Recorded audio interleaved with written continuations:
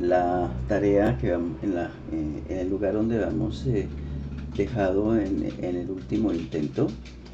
Recordemos que de acuerdo con lo que habíamos eh, visto previamente, el proyecto estaba en la siguiente etapa. una vez que nos conectamos, bueno, aquí no tengo que conectarme porque todavía no, no estoy usando Arduino propiamente, para la ejecución del programa. Para la ejecución del programa recuerden que habíamos este, usado aquí presionar este, la bandera para que empezaran a llover, eh, empezaran a llover manzanas y que nos movíamos usando la flecha eh, derecha e izquierda para poder para que el monigote que representa a Newton pudiera capturar las manzanas. Lo hemos dejado en ese punto. Vamos a mejorar el estado de cosas em, de la siguiente manera. Vamos a sustituir eh, la pulsación de las teclas derecha e izquierda por la eh, por la em, distancia, por el cambio de distancia em, recorrida por una señal eh, producida por nuestro sensor de, de ultrasonidos, la cual va a rebotar contra esta, contra esta superficie y y al mm, detectar la señal eh, recibida y conociendo la velocidad a la que se propaga el sonido podemos estimar eh, eh, la, distancia a la que se encuentra el obstáculo desde el cual se reflejó el sonido.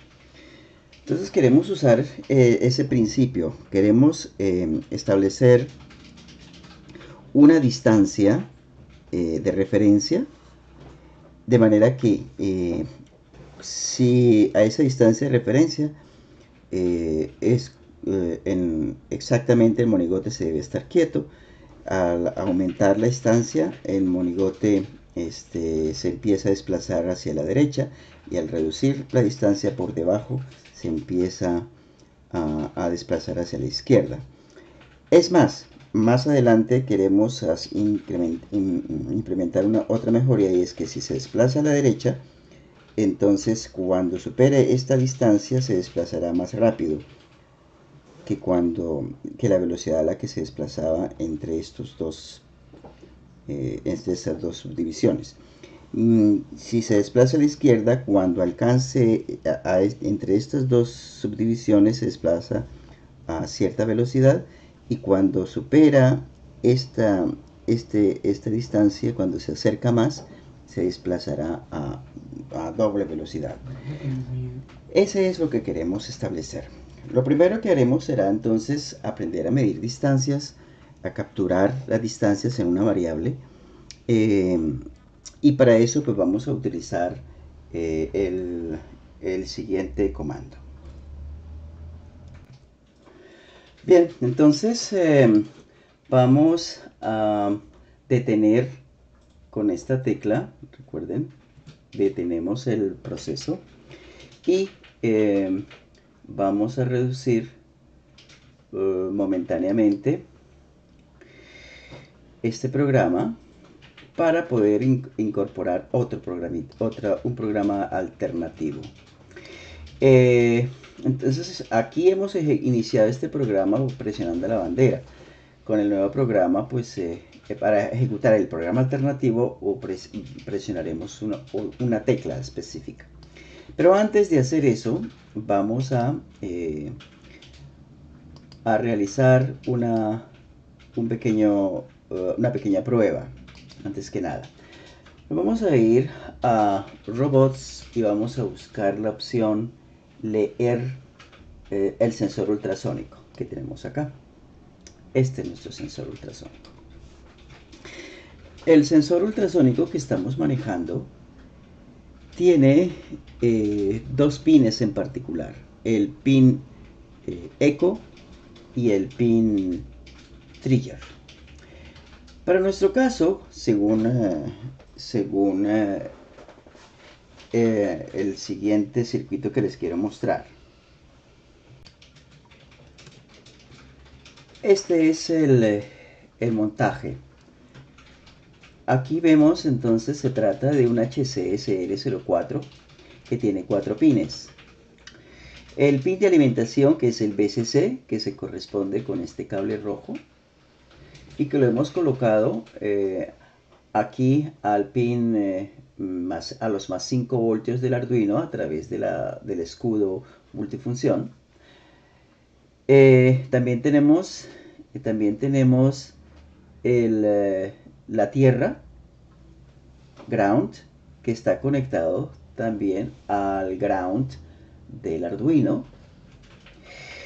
Y tenemos eh, el, pulso se recibe, se transmite a través del pin trigger, que es este cable amarillo, que va al pin digital 6 del Arduino. Y el pulso eh, transmitido produce un eco y este eco es recibido y su señal, la señal recibida sale por este por este eco, por este pin ejo y a través del cable naranja pues va a parar al pin 5. El esquemático es, em, bueno, en realidad pues ya ustedes ya conocen, ya, les, ya, ya tienen conocimiento de, de, la, tarjeta, de la, el escudo multifunción que estamos utilizando acá. ¿Cierto? Está montado encima del, del Arduino 1 en este caso. Vamos al esquemático.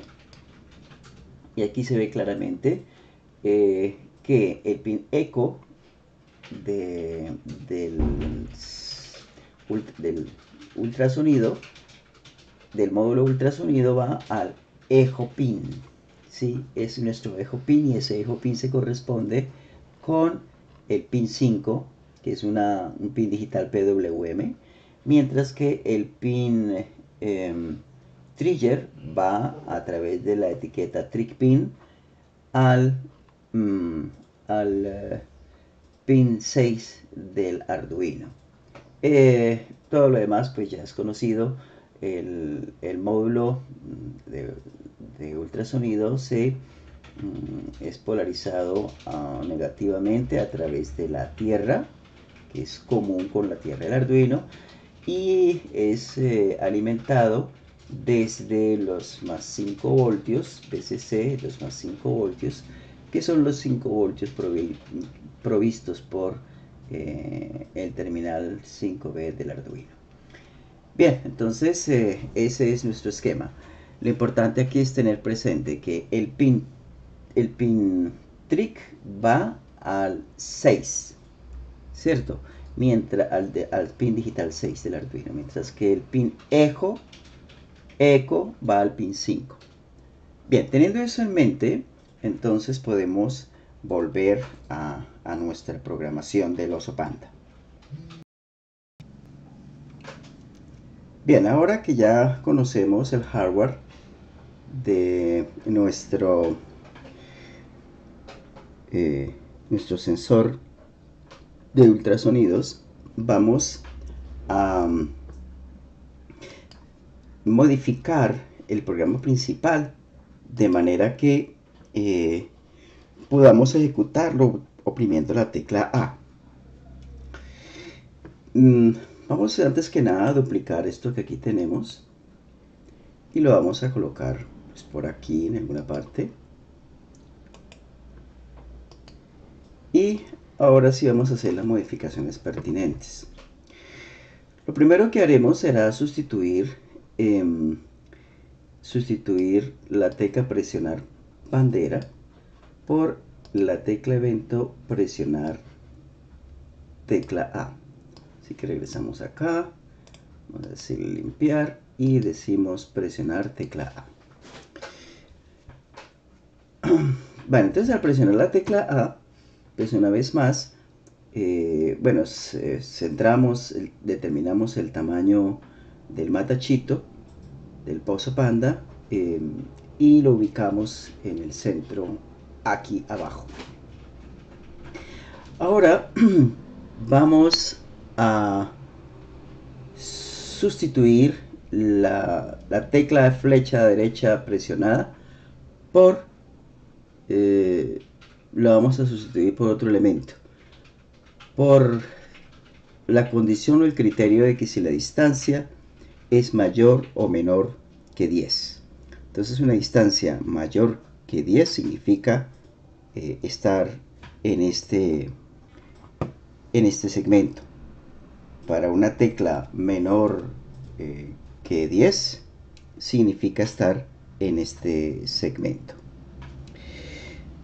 Pero primero tenemos que definir eh, si estamos, si la distancia medida está por encima o por debajo de este umbral. Para ese propósito vamos entonces a mm, irnos otra vez de regreso al programa alternativo, claro está. Y esta vez eh, vámonos a robot y en robot vamos a elegir em, la opción la opción em, lee el sensor ultrasónico que debe estar por aquí en alguna parte aquí está lee el sensor ultrasónico aquí lo tenemos eh, como ya vimos, el sensor ultrasónicos tiene dos, pines. El pin, eh, el pin trigger es el pin 6, así que vamos a sustituir el pin trigger por el pin 6. ¿Sí? Entonces iremos directamente acá y cambiaremos el 13 por el 6. Y ya sabemos que el pin eco se encuentra en el pin digital 5, así que lo cambiamos por el 5.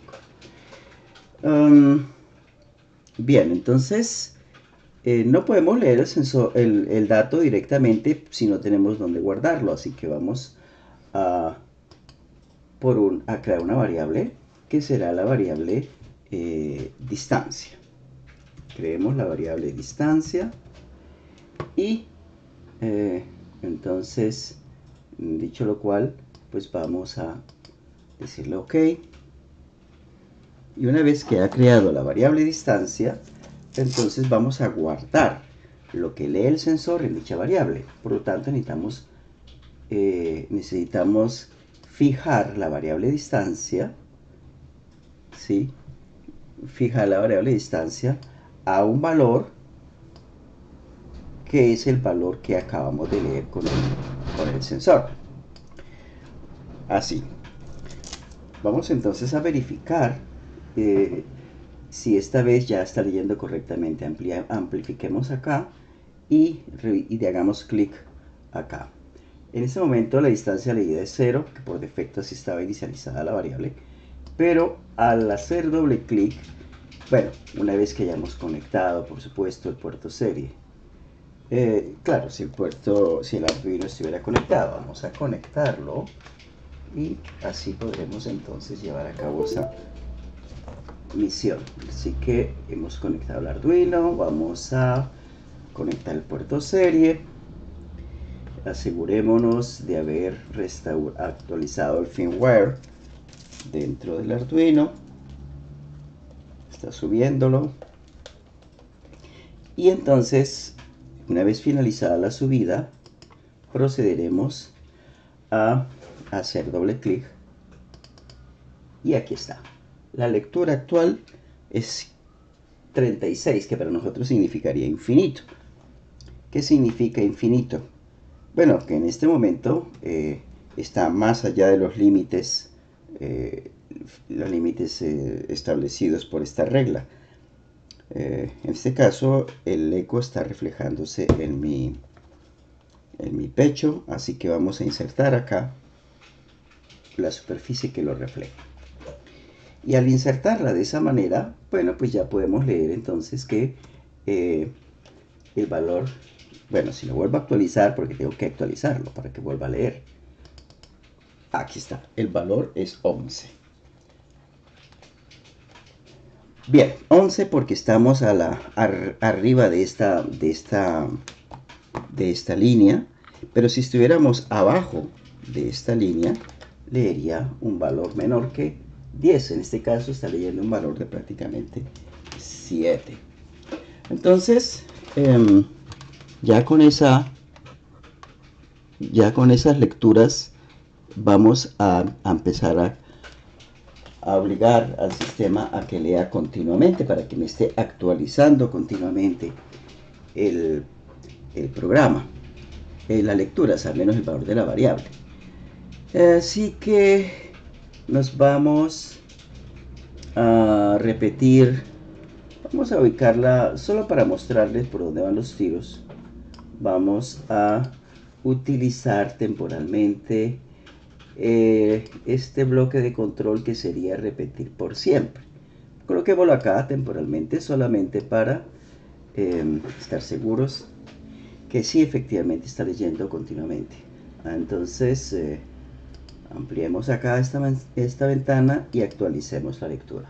Ven ustedes que está actualizándose permanentemente el, la variable aquí está más o menos el límite que es como 10 más arribita 12 13 en fin ya estamos ah, ya estamos leyendo y actualizando esa lectura continuamente bueno tal vez se habrán dado cuenta que esa que tenemos que ralentizar la, la actualización de la variable porque pues es demasiado demasiado rápido que se actualizan los datos. Así que vamos a ir a la variable eh, aquí a control y vamos a elegir un, compás de espera.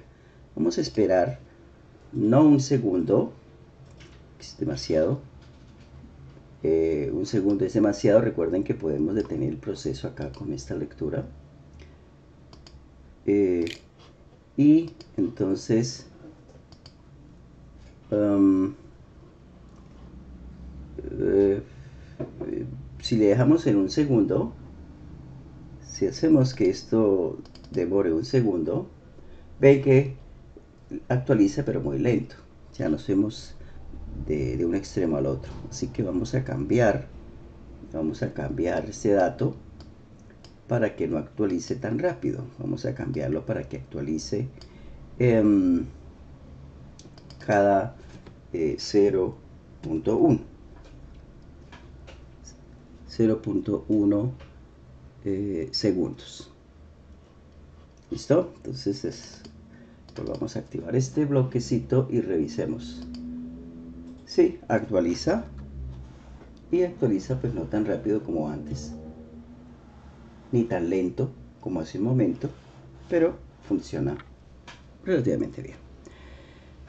Bueno, mm, obviamente este, no queremos que repita eternamente esta lectura, solamente queremos eh, simplemente utilizar este, este bucle que tenemos acá. Así que mm, vamos a ubicarnos justo antes de decir lo que tiene que hacer con la distancia. Es decir, junto antes de, de determinar si se desplaza a la derecha o a la izquierda. Bien, entonces eh, para ese propósito vamos a, volver otra vez aquí y vamos a cambiar em, la tecla flecha derecha presionada por si el criterio de que si la distancia es mayor que 10. ¿sí? Entonces vamos aquí a operadores, preguntémonos si una cantidad es mayor que la otra, nosotros nos referimos en este caso a distancia. Vamos a colocar aquí distancia y le vamos a preguntar si es mayor que 10. Entonces, eh, vamos a actualizar los datos. Vámonos eh, para revisar acá eh, si esto es mayor o no que es. recuerden que estamos en 10.7 y me dice que efectivamente es mayor que 10. Vamos a colocarlo antes del límite y nos preguntamos si es mayor que 10. Eh, bueno, en este caso, este, En este caso estoy mm, debajo del límite, por lo tanto no es cierto que sea mayor que 10. Así que si lo hago acá, no debería decirme que es cierto. Vamos a ver, determinar acá eh, otra vez. No, no es cierto que sea mayor que 10, así que estoy cometiendo algún error. Por ejemplo, seguramente, eh, seguramente debo activar la tecla A. Vamos a ver. Activemos la tecla A y ahí debería estar actualizando la lectura. Ahora sí, está en 6. Entonces revisemos 6, activemos acá y es falso que sea mayor que 10 porque 6 es menor que 10. Correcto. Ah, mientras que si me hago lejos de este límite, entonces por encima, y le pregunto que si es mayor que 10, esta vez me dice que sí es mayor que 10, sí, porque estamos aquí como en 11. Bien, entonces, eh, ah, dicho lo cual, vamos a hacer la respectiva sustitución de tecla flecha derecha presionada por la instrucción distancia mayor que 10.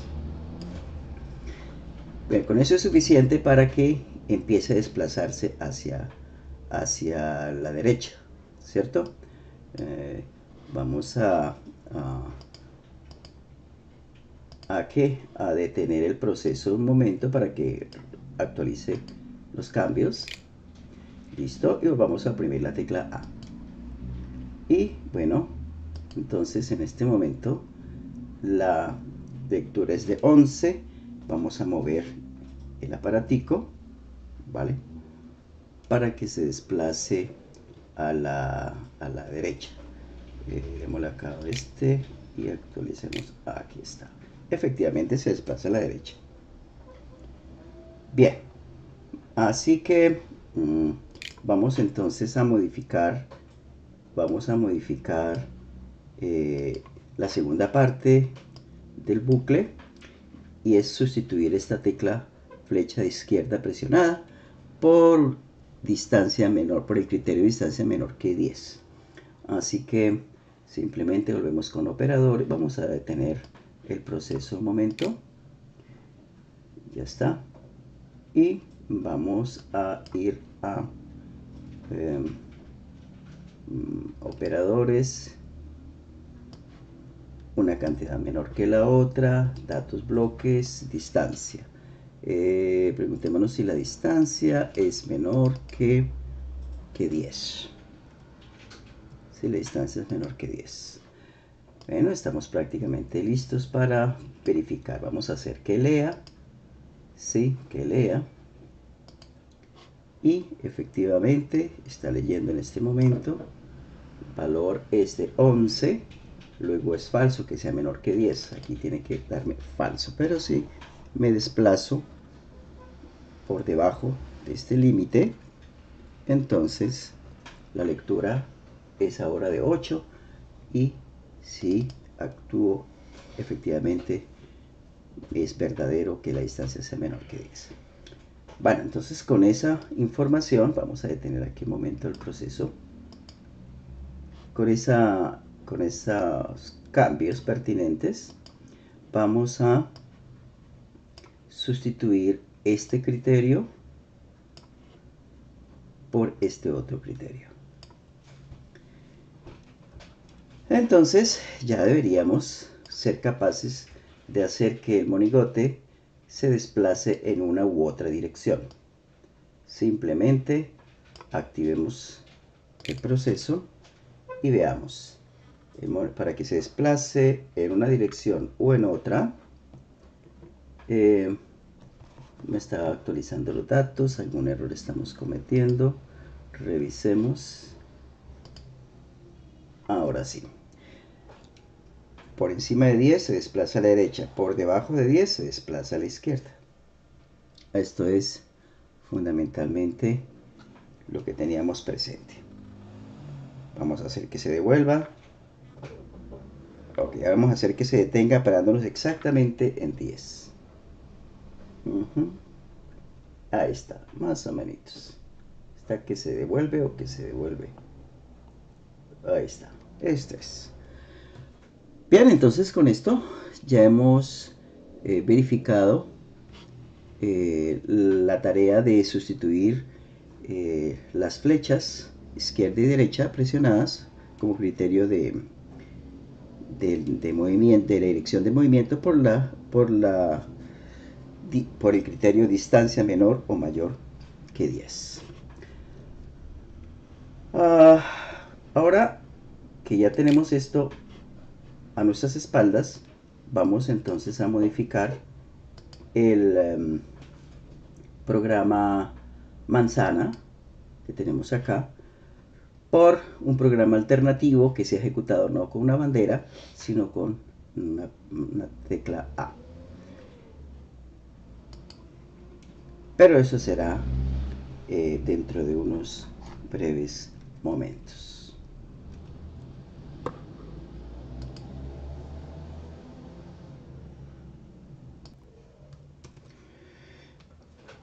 Vamos entonces a implementar eh, un programa alternativo para la aparición de las manzanas. Recordemos que hemos implementado un programa alternativo para el movimiento del monigote y que em, en el momento en que oprimamos la tecla A, eh, el monigote empieza ese movimiento. Vamos a detenerlo porque queremos hacer que al oprimir la tecla A también empiecen a llover manzanas. Así que nos iremos a, eh, al ámbito de la manzana para poder programar, reprogramarla.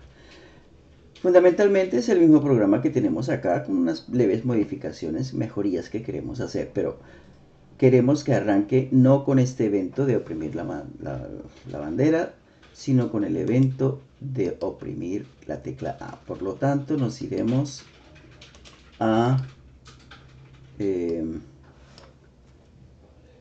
va a duplicar este programa, esta primera parte del programa.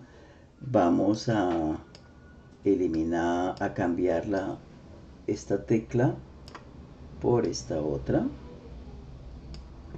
cambiando aquí espacio por tecla A. Y dicho lo cual pues estamos preparados. Todo debería ser idéntico así que oprimo la tecla A y deberían llover manzanas efectivamente cada segundo. Ahora quiero aleatorizar vamos que se desplace el monigote en sentido opuesto. Quiero aleatorizar eh, el proceso de caída de manzanas. Vamos entonces a hacer aquí una pausa. Para aleatorizar ese proceso vamos a, a decir que mm, el lapso de tiempo entre una aparición de un clon de una manzana y el siguiente no tiene que ser uno siempre, sino que puede ser un, número que oscila entre medio segundo y dos segundos, por ejemplo. Por lo tanto, vamos a operadores, vamos a número al azar y vamos a cambiar este número por un número entre 0,5 y 2, por ejemplo. Revisemos. Y ya la aparición debería ser aleatoria. Ah, entonces, oprimamos y efectivamente, si ven que ya el lapso de tiempo entre una manzana y la otra no se puede predecir. ¿Vale? Aparecen manzanas más cerca las unas de las otras o más lejos. Bien, entonces eh, esa es eh, la mejoría que le vamos a hacer ya a este programita alternativo de las manzanas ya que estamos aquí. Vamos entonces ahora a implementar algunas mejorías en el movimiento del monigote, porque pues como comprenderán hemos subido el listón. Ahora el monigote tiene que ser más ágil, un poco más ágil, para pretender alcanzar eh, las manzanas que ya no se sabe por dónde, en qué momento van a aparecer. Vamos entonces a proceder.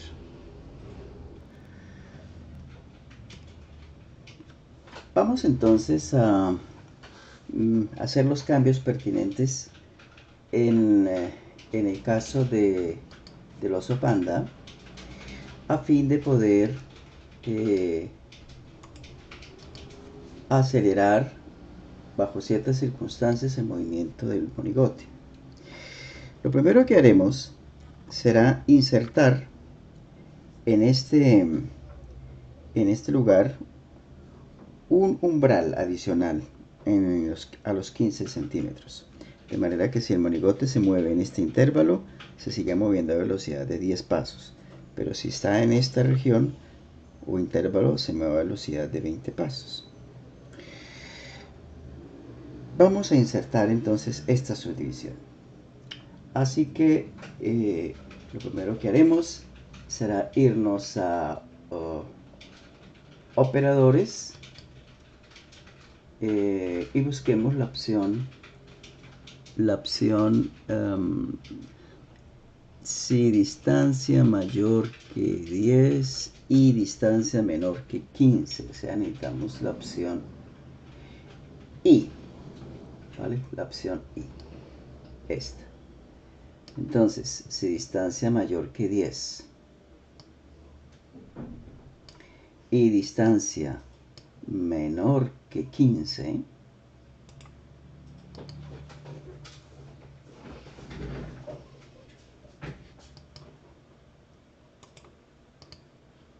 aquí, así, y distancia menor que 15, entonces que se mueva hacia la derecha razón de 10 pasos. Revisemos cómo están las cosas actualmente. Voy a oprimir la tecla A y vamos a hacer que se mueva en esta dirección. Se mueva en esta dirección acá. Pero vamos a ver si es verdad en qué, qué, distancia nos encontramos. Actualmente nos encontramos en 13, o sea, entre 10 y 15. Por lo tanto, debería ser verdadera esta condición, al menos en este momento debería ser verdadera. Revisemos si es verdadera. Fuera del intervalo, ya sea por aquí, falsa, o por aquí, falsa. Listo, entonces ya podemos colocar esta condición justo aquí. Vale, ahora digamos que si está en este intervalo, se mueva a 20 pasos. Eso significa que tendría que coger y duplicar esto, ¿vale? Para que se siga moviendo a la derecha, ¿sí? Esto no se necesita por el momento. Queremos que se siga moviendo a la derecha, aquí. Pero, vamos a detener aquí un momentico el proceso, pero Em, solo si la distancia es mayor que 15. Solo si la distancia es mayor que 15. Vamos a dejar esto por acá. Bien, entonces eh, revisemos actualmente cómo están las cosas. Debería ser mayor que 15. Estamos, ahí está, muy lejos, perdón, por acá. Sí, estamos en 18, de aquí para acá. Debería ser verdadera. Ah, revisemos. Eh, es verdadera, mayor que 15. Listo, entonces esta condición la vamos a poner acá. Y aquí se tiene que mover a razón de 20 pasos. ¿Sí? A razón de 20 pasos. Entonces, em, revisemos, hagamos que se mueva aquí a razón de 10 pasos y aquí a razón de 20 pasos, pero no lo está haciendo porque no lo hemos no lo hemos actualizado. Vamos a actualizar deteniendo el proceso y volviéndolo a activar. Ahora sí, a 20 o a 10. A 20 o a 10. Funciona. Funciona. Ahora vamos a insertar vamos a insertar justo aquí una subdivisión, una condición más Y es que si estamos en este intervalo, o sea, entre 5 y 10, se mueve a, la izquierda a razón de 10 pasos. Pero si está aquí, se moverá a razón de 20 pasos hacia la izquierda. Procedamos entonces. Vamos a, um, vamos a duplicar esta condición. Vamos a detener primero. Mm, detengámoslo. Ya. Vamos entonces a duplicar esto. Esta condición aquí. Pongámosla Y entonces, si em, la distancia es menor que 10 eh, y mayor. Busquemos aquí. Uh, usemos esto dupliquemos esto. Aquí. Si es eh, menor que 10 y mayor que 5 ¿verdad? entonces distancia uh, menor que 10 pongámosle acá. Distancia menor que 10 eso sería acá. Y distancia um, vámonos aquí mayor que 5 y mayor que 5 vámonos acá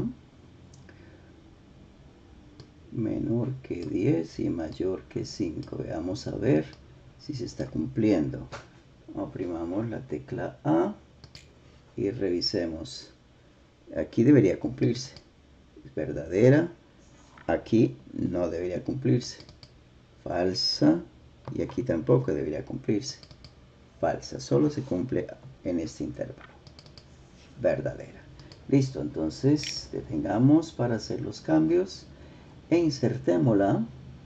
Insertémosla en lugar de esto sacamos esto y vamos a insertar esto se mueve a razón de 10 pero si la distancia es menor que 5 acá se debe mover a razón de 20 y estaríamos listos vamos a ver qué tan cierto es para que esta condición se cumpla, tendría, en este momento no se está cumpliendo, tendría que estar aquí. Ah, aquí debería cumplirse, si me detengo y reinicio para que tome los cambios. Aquí se está cumpliendo, es correcto, pero aquí ya no. Correcto, funciona. Detengamos el proceso y insertémoslo en su lugar y estamos preparados. Vale, entonces para, um, para poder empezar a trabajar, lo único que tenemos que hacer es nada más y nada menos que proceder. Listo, entonces oprimamos la tecla A y empiezan a llover manzanas. Hagamos que se mueva lento hacia la derecha. Hagamos que se mueva rápido hacia la derecha, lento rápido. Ahora hacia la izquierda. Lento y rápido. Efectivamente. Lento y rápido. Hacia a la derecha, lento o rápido. Lento o rápido. Y que se detenga si es posible. Vamos a ver un poco la izquierda y que se detenga. Bien, con esto entonces ya hemos logrado mejorar el juego. No es perfecto, pero lo hemos logrado mejorar. Adiós.